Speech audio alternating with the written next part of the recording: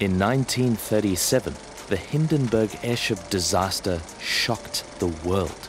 But now the name Hindenburg has a different connotation in finance. Meet the Hindenburg omen, a tool invented by mathematician Jim Miekka and his friend Kennedy Gammage, which can predict potential stock market crashes. This technical indicator has been used to spot sharp corrections, allowing traders to avoid significant losses or profits from the decline before others know what hit them. It's a crafty strategy that has helped many traders navigate through the ups and downs of the market. The Hindenburg Omen may share its name with a disaster, but in the world of finance, it's a tool that's helping traders stay ahead of the game. What is the Hindenburg research? How does it affect the financial market? In this video, you will learn more about how the Hindenburg Omen is calculated and how traders can use its signals to avoid significant losses or profit from the decline. The Catalyst. We are shocked that Hindenburg Research has published a report on January 24, 2023, without making any attempt to contact us or verify the factual metrics. The report is a malicious combination of selective misinformation, stale, baseless, and discredited allegations that have been tested and rejected by India's highest courts. Adani, a once high flying corporation and a global leader in the industry, is now in freefall its stock prices have plummeted by 50%, crashing down to earth like a blimp engulfed in flames. The founder and CEO, Gautam Adani, has seen his fortunes take a nosedive, no longer ranking among the world's top 10 wealthiest people and losing his status as Asia's richest man. What triggered this dramatic downfall?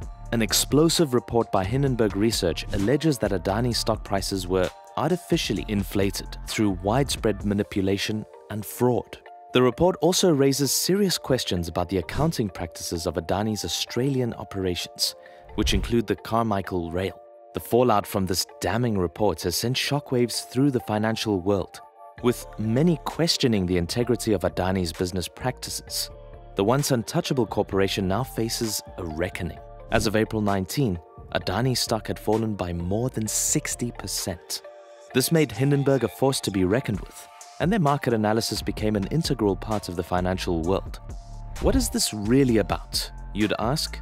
The Hindenburg omen might sound like a vague term, but its roots lie in tried and tested market breadth theories, developed by some of the most respected names in France.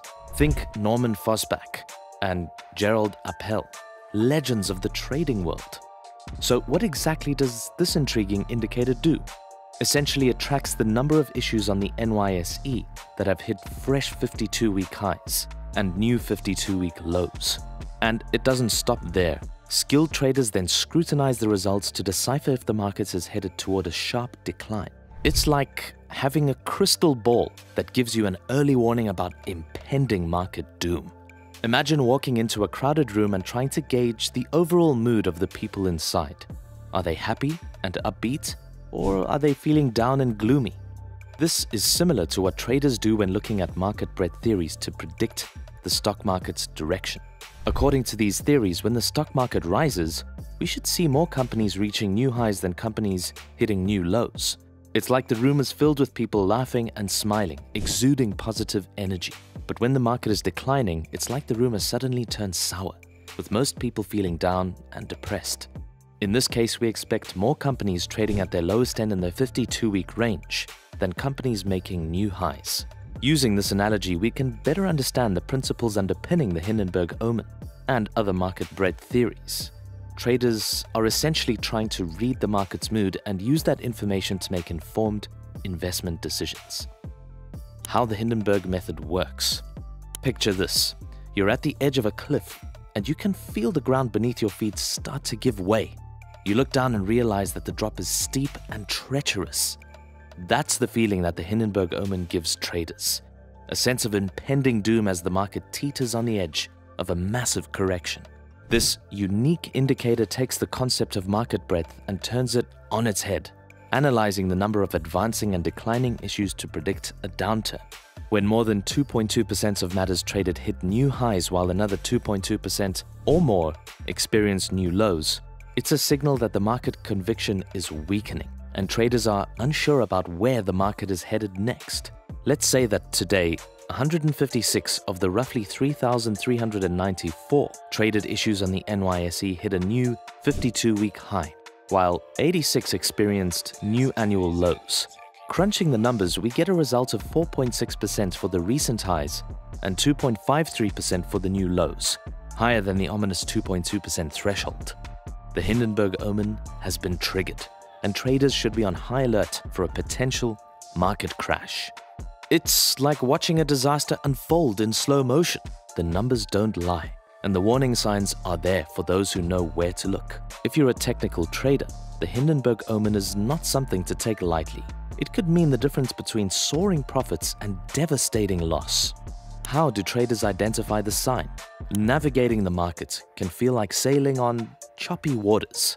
The conditions can change instantly, and one wrong move can mean disaster. That's why technical traders know it's wise to rely on multiple indicators when making decisions. In the case of the Hindenburg omen, additional criteria must be met to confirm and validate the signal. One such criterion is to ensure that the 10-week moving average of the NYSE Composite Index is rising.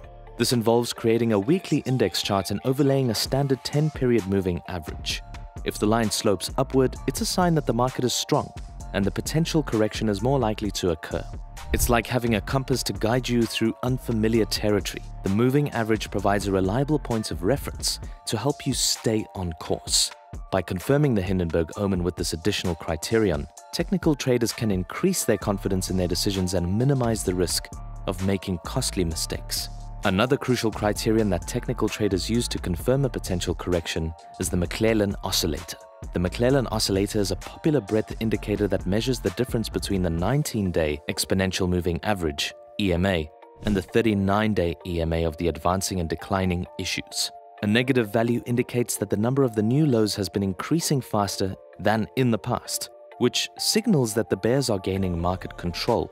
It's like reading the wind to determine which way the ship is headed. The McClellan oscillator signals technical traders that a potential correction could be on the horizon. By combining this indicator with the Hindenburg omen and other confirming criteria, traders can make more informed decisions and reduce risk exposure. In the fast-paced world of trading, every second counts. Technical traders can stay ahead by using multiple indicators to confirm potential market conditions and make better informed decisions. We've covered much about the Hindenburg method, the brain behind some of the most significant stock market crashes. But it begs the question, is it ethical to capitalize on a financial crisis to make a name for yourself? And more importantly, can methods like this help investors predict the market with greater accuracy? It's a debate that's been going on for decades.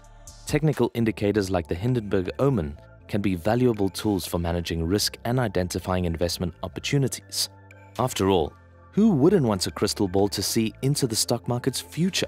Drop your thoughts in the comments section and remember to hit that like and share button. Join us on an exciting journey as we explore the lives of financial wizards from across the globe. Stay tuned for inspiring stories, investment insights, and exclusive interviews with some of the brightest minds in the industry.